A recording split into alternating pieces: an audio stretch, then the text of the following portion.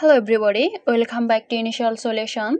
In this video tutorial, I will show you how to convert WPS Office to PDF. So let's begin the video.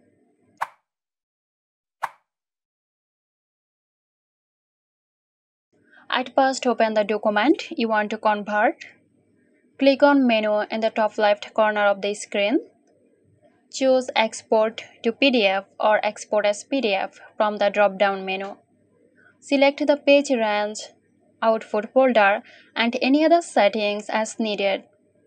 Click Export as PDF. The document will be converted and saved as a PDF file in the location you selected. So there you have it. I hope this video helped you out. Stay tuned for more helpful tutorials here at Initial Solution. This video is sponsored by Girosoft. Girosoft offers graphic design, UI UX design, digital marketing and web development.